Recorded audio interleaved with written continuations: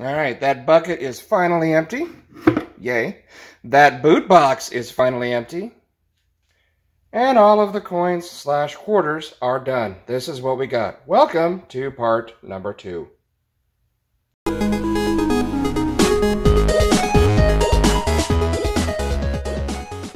Not too shabby. Of course, that was quite a few, uh, quite a few coins we went through. Anywho, so we got one right chair that's pretty nice, nicely clashed. 1998 Philadelphia.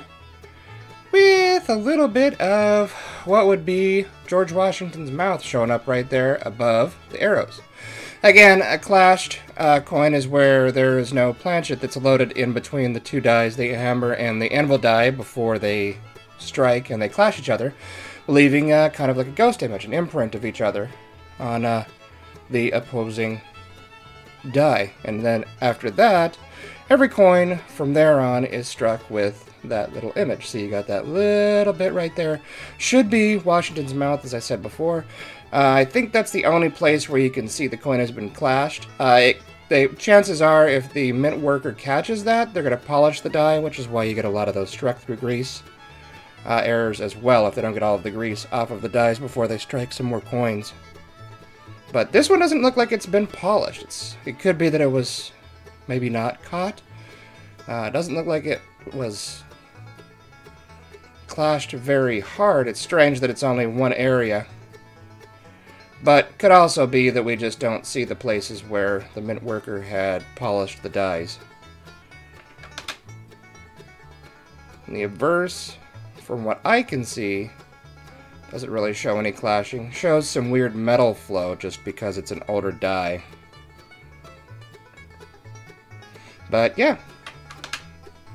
Not a bad little clash right there. Couple of foreign coins. United Arab Emirates. First time we've ever gotten anything from them. Canada. Pretty cool. 2008 bobsled team on the reverse. All about the Olympics. Sorry, 2010. I knew that. Heh. Really nice struck through North Dakota. Actually, it's probably more like a filled die, I suppose you'd call it, but kind of the same idea. Alright. As you could see, definitely struck through some grease slash filled die. And of course, filled die is pretty much the exact same concept as struck through grease. It's just the grease is inside of the uh, devices of the die. So it doesn't allow the metal to flow into all those devices like the sun and the back of the buffalo and a lot of the detail of the buffalo like it's supposed to. And leaves this kind of mushy looking image. But this one's quite aggressive. Nice to find. 2017. These are all struck through, by the way. Weir Farm struck through. Another Weir Farm struck through. So we're actually starting to find a, a, decent amount of Weir Farm that are struck through grease. Kind of strange. Just may, might be the design or who knows. Montana. And then we got some decent mint states. Got a nice Utah mint state. Really nice Massachusetts Mint State, Great Basin, and then a 2019 River of No Return, Denver. Fortunately, not a W, but still nice Mint State.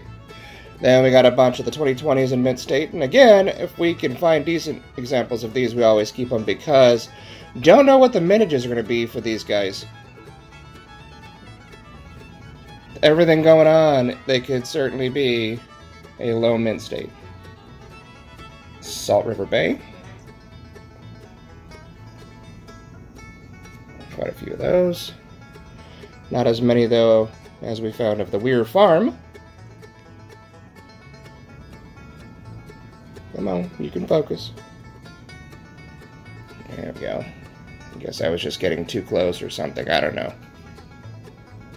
The planned obsolescence of my phone is definitely starting to kick in with every single update. It gets a little bit, uh, a little bit dumber. Alright. But you get the idea. Mint State, Weir Farm. Oh, now it decides to focus. There we go. Okay. Then we have some nice 2009s. Virgin Islands. Virgin Islands. Really nice Virgin Islands. Puerto Rico. And although we don't typically keep the 2009s if they're in worse condition than about uncirculated, we kept this guy because it has what appears to be some die chips in the uh, P mint mark there for Philadelphia. Kind of interesting, kind of different. Um, yeah, we don't see a lot of die chips like that in uh, in 2009s. I think we have one other one where we found some die chips on it, and it was on the reverse. Guam. And then we actually found two spitting horses. This one a little bit better. This one's not quite what I guess you'd call uh, picture perfect as in. In other words, if you look at picture references of what would be a spitting horse, it's not quite what they would consider a spitting horse, but there is definitely a die crack coming off of it. This one's more like the actual uh, examples of a spitting horse. But either way, die cracks, whatever you want to call them, spitting horse, die crack, the horse is spitting, so whatever. This one's more like a sneezing horse, I guess. I don't know, something like that. But the die crack is just above the horse's mouth, kind of going through the top of the seat in Caesar Rodney. Let's see if I can get a good... Oh, there we go. Yeah, the light hits it good there.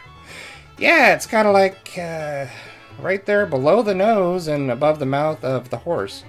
So I guess it's not technically a spitting horse, but either way you look at it, it's kind of a cool die crack. And what would quarter hunt be without an extra claw? Ta-da! Extra claw. How odd. Then we got some oddities. We got a San Francisco business strike. Again, these are only available in bags and rolls directly from the mint. So somebody broke them out, had to spend them, or wanted to spend them, or whatever. 2016 Harper's Ferry. So that's cool. We don't have any of those yet in the uh, the S mint mark. Eh, really, well, at one point decent. Arizona 2008. San Francisco proof coin. Not as pretty as she used to be, but a little bit of the uh, once glory is still there. Circulated or not, still neat to find a proof coin. She's definitely seen better days. Still a little bit of that mirror showing up.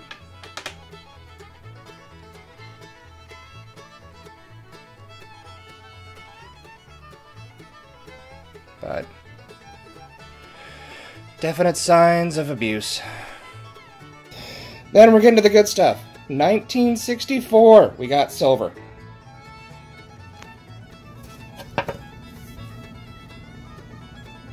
Denver. Not in bad shape, actually. Not mint state. Not even about uncirculated but certainly not hammered. Didn't start life out as the best strike either. But definitely better than we've seen, that's for sure. And then in 1953, San Francisco. Yeah. Not pretty. But still silver. Lots and lots and lots of wear, as we can see by the odd metal flow. Little striations coming off of the devices, like the back of Washington's head there and his ponytail. Older dies, but that's okay. And always love to see that S mint mark especially on the older coins. 90% silver. Can't go wrong with that.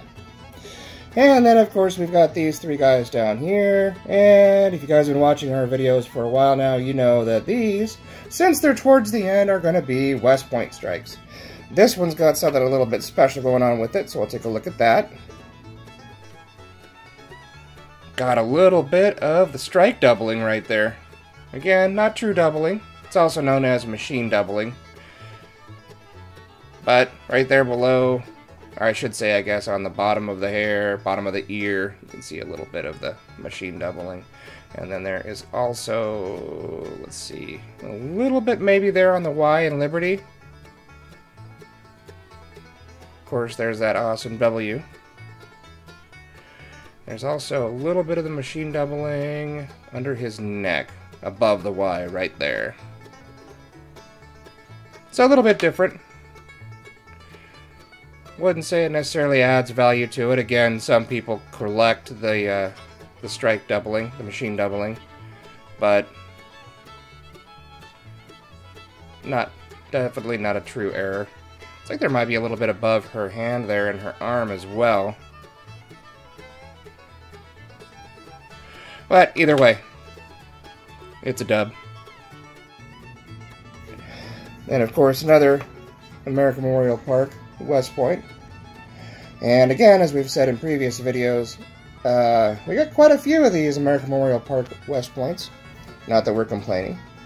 But we've also got River of No Return.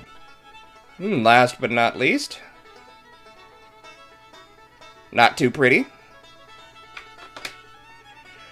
But it is River of No Return. We have not found many of these. I think this is the third, maybe the third one that we've found. River of No Return with the West Point uh, mint mark on it. So yeah, not too bad. As you guys can see, uh, incredibly productive hunt. A uh, very long hunt. I mean, it, it pretty much took us several days of quote-unquote free time to uh, be able to go through everything, but uh, quite successful. We're happy with it anyways. And it was different. It wasn't just us opening up a, you know, breaking a, a bank box or going and getting circulated rolls from, you know, customer wraps from the bank or whatever. It was something different. So we, uh, we highly enjoyed it and hope that uh, you guys enjoyed it too. Uh, if you haven't subscribed yet, please go ahead and do so. Again, it is the best way to support the channel. Tick the bell if you want to know every time we upload some brand new content. Uh, throw this uh, video a thumbs up if you enjoyed what you saw. until next time, guys, love you all. God bless. And we'll see you soon. Stay safe out there. Good luck on your hunts.